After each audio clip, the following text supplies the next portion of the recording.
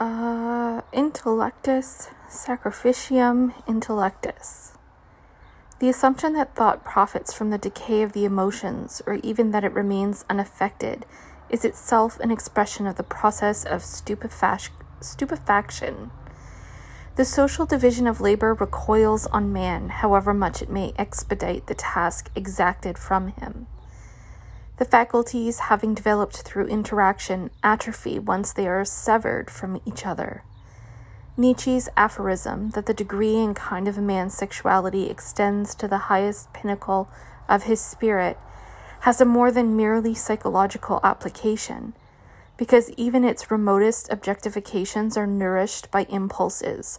Thought destroys in the latter the condition of its own existence. Is not memory inseparable from, from love, which seeks to preserve what yet must pass away?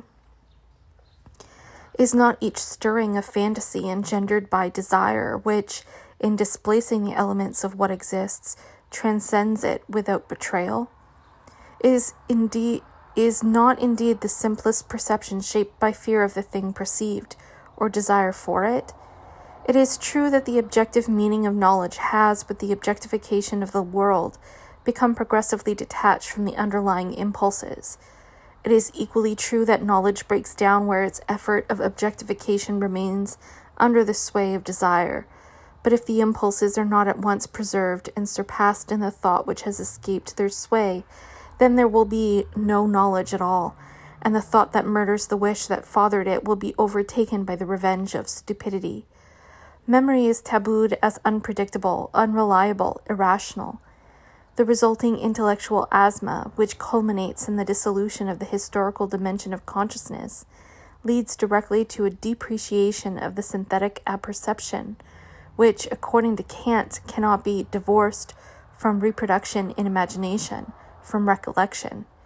Fantasy alone, today consigned to the realm of the unconscious and prescribed from knowledge as a childish, injudicious rudiment, can establish that relation between objects, which is the irrevocable source of all judgment. Should fantasy be driven out, judgment too, the real act of knowledge, is exercised. But the castration of perception by a court of control that denies it any anticipatory desire forces it thereby into a pattern of helplessly reiterating what is already known. When nothing more may actually be seen, the intellect is sacrificed.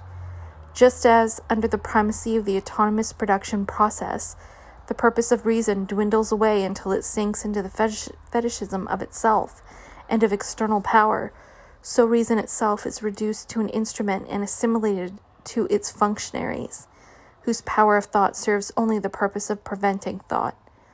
Once the last trace of emotion has been eradicated, nothing remains of thought but absolute tautology. The utterly pure reason of those who have divested themselves entirely of the ability to conceive of an object, even in its absence, converges with pure unconsciousness, with feeble mindedness in the most literal sense for measured against the extravagantly realistic ideal of a datum freed of any categories, all knowledge is false, and true only where the question of truth or falsity cannot be applied. That such tendencies are far advanced can be seen at every turn in the activities of science, which is on the point of bringing the last remnants of the world, defenseless ruins, under its yoke.